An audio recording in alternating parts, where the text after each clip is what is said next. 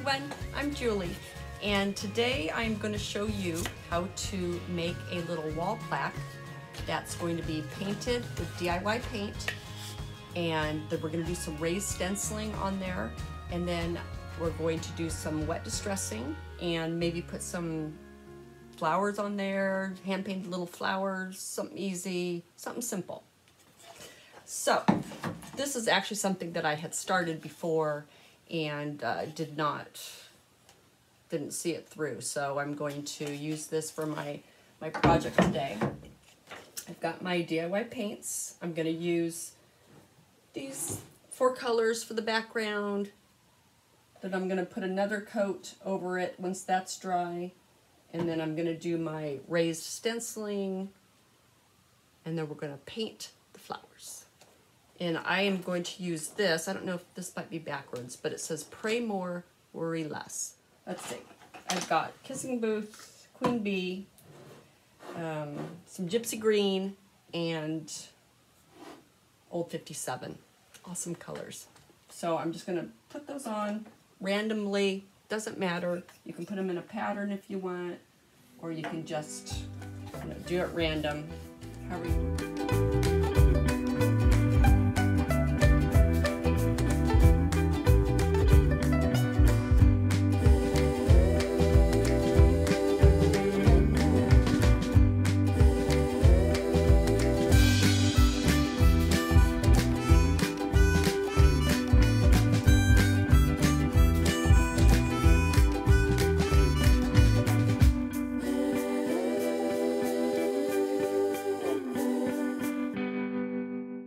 Let it dry by itself. Dries really quick, or you can do a heat gun. Um, be careful if you use a heat gun. One time when I was painting something at DIY headquarters, and um, I put a, I think it was like a piece of furniture, and I had a mold on there or something, and I was just, I was really just wanted to get the um, the mold dry and get it done, and I kept I was using the heat gun. It was the first time I used the heat gun because I'm used to just doing with the blow dryer. Uh, putting the heat gun on, drying it out and stopping it, setting it down, going back. And I was so um, distracted. You know, I was in a rush when I was doing it, so I was distracted. And then I set the, the heat gun down, and when I went to go pick it up, I picked it up on the wrong end, on the metal heat part of it. And it was hot, hot, really. And every day we we would always have our peanut butter and jelly sandwiches. And this day, so after I'm getting ahead of myself. After um, you know, I was putting ice on it, and I'm like ready, ready to cry, and it's just so much pain. Melissa comes in and says, "You know, the, um, if we had mustard." You could put that on your, your burn because that's supposed to really help. That day, Stephanie happened to bring in a ham sandwich and the bread had mustard on it. And like I said, we always just used to bring in our peanut butter and jelly sandwiches. And but somehow, some reason that day she had this this sandwich. So she gave me uh, her, her bread with the mustard on it and I just wrapped my finger in the, the bread and um, had her bread with mustard on my finger all day and it still hurt but I think that it really helped to um, not you know I didn't I had a blister afterwards but it wasn't as bad. So anyways so I'm gonna put the stencil here and I've got my joint compound, which is normally like a, a gray color, but um, I've made this, this same thing before, and last time I put it on there and I used the joint compound, and I went back and painted it white. But this time, I took the joint compound and I added um, some white swan, DIY white swan to it. I really like the, the chunky texture to it, so I'm going to just take a glop of it and I'm gonna just like put it on there and so I'll have like more more texture to it and then I can sand it down when it's dry if I don't like exactly what I have. So hopefully this will go okay doing it this way.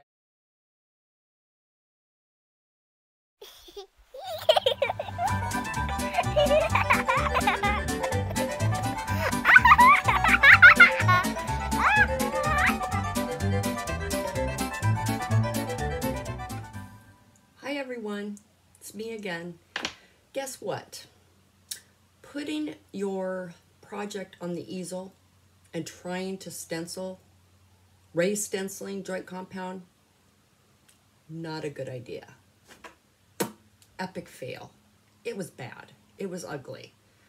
I took the thing off and it was no bueno. So we're gonna do this again. You need a flat surface when you're working with joint compound and doing this raised stenciling. And I tried to just go through it and it was awful. There may have been tears. There may have been a meltdown. I almost gave up.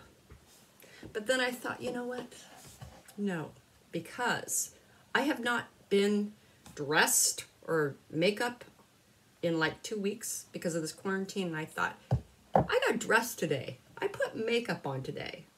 I'm finishing this. I'm not going to have wasted that. I fixed up the panel after scraping all the joint compound on it and repainted it, got it back to where it was, and now I'm going to do it the proper way.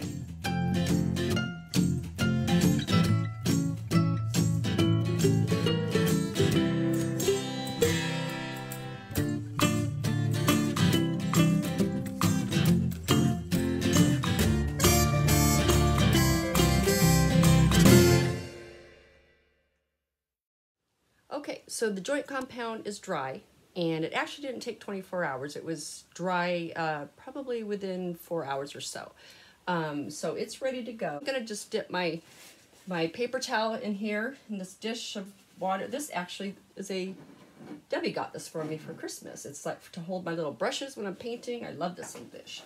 Um, anyway, so I squeeze out the water, and um, one of the cool things about DIY paint is water will reactivate it. So I'm going to just lightly brush over it and that's going to pull off Bohemian Blue.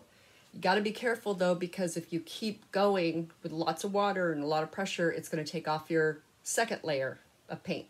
And I don't want that. I want that to come through.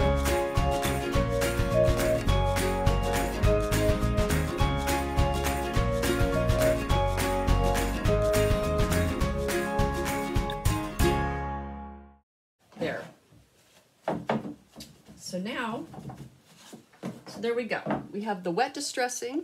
Can't really fully see it because the Bohemian Blue is still wet, but that's going to be really pretty. So over here, I'm going to paint some flowers.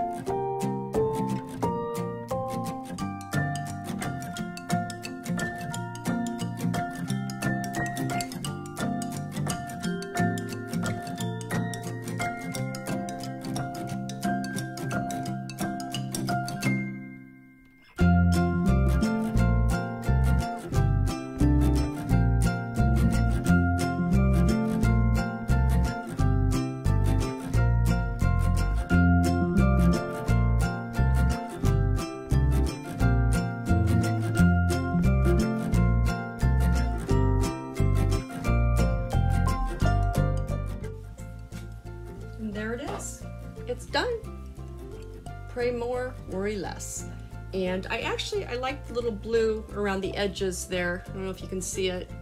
I decided to keep it and just touch it up with the white a little bit. Um, but I really like it.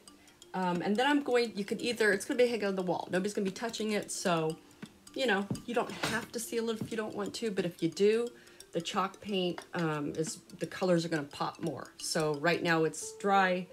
um, or when it's dry, it's going to be a lot flatter. But once you put the big top over it, it's all those colors are going to really pop. So I think once it dries, I'm going to seal it with big top, and then I'm going to hang it on the wall. Thanks everybody for watching. Bye.